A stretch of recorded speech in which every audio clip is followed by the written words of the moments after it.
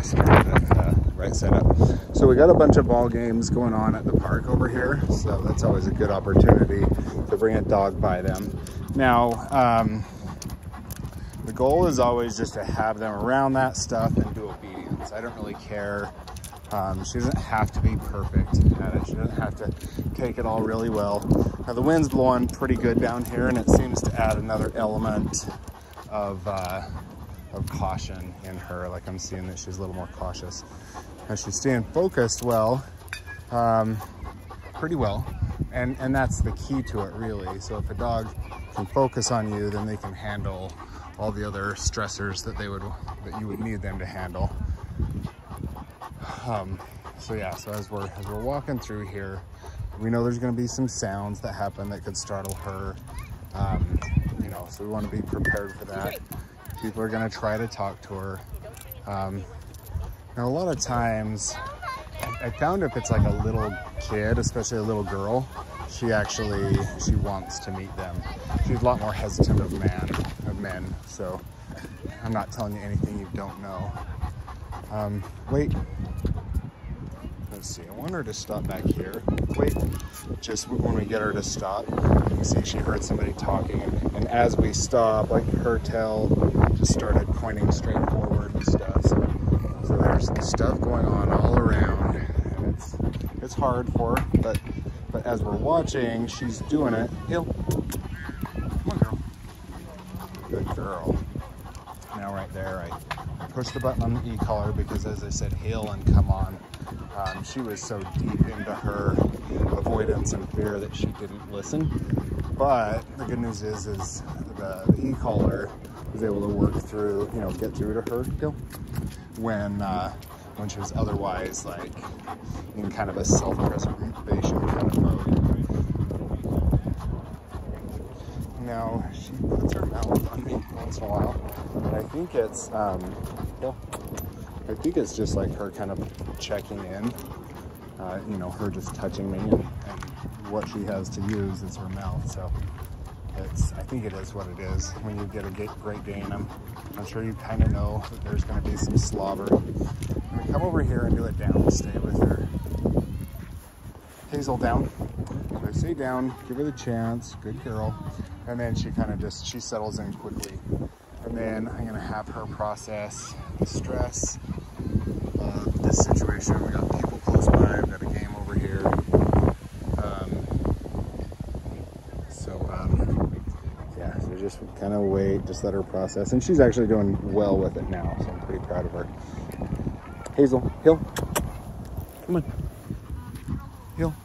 Now, know, she's kind of guessing where I'm going. So rather than go straight ahead, Hill, what I gotta do is kind of go away from her. Hill, come on. Until, good, until she like really comes in. Because she didn't really, uh, she didn't really, she wasn't dedicating to it. She was like beating me to the gate. She's like, no, we're, we're out of here and I'm leading the charge. And that's where I say, no, like you have to pay lots of attention. Good girl. Wait. Hill. Good job, girl. Hill, so I'm stimming right here. Hill, because she's just kind of hanging back on leash. Hill, come on. Now I'm gonna go in. No, no. I'm going the other way just because, no, no. Just because she's so, um, she's so flighty there. Come on, Hill. So what we're gonna do is we're gonna go through this situation again because something's triggering her where she's panicking. Hill, come on. And, and if she can, no, no. And if she can't, um, you know, she's getting into biting the leash. So I think, I think the thing is when, when this happens, we just repeat until they do it right. So, and I feel like a lot of people will come up a little bit short there. Hill, um, when the dog is blowing them off and um, and, and, and really worried. No, Hill. So that was it. It's the ball. Hill, come on. Good. We're just gonna wait right here. We're gonna endure a couple more sounds. So, and she did a lot better with that one. I don't know if you could tell.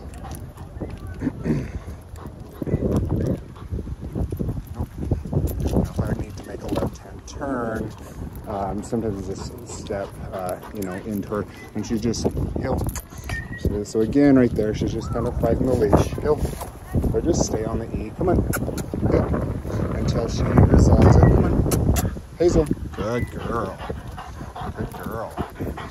So we don't get loud, we don't get mad, but we also don't go anywhere until she obeys the command. And for some reason, the impact of these balls are just are huge from her. But when she comes home to you guys, this is exactly what kind of thing you should try to do with her twice a week. Just so you're getting out there, um, you're doing obedience, you're giving her something to focus on, and then um, you're leaving when you say it's okay. Cool. Good job.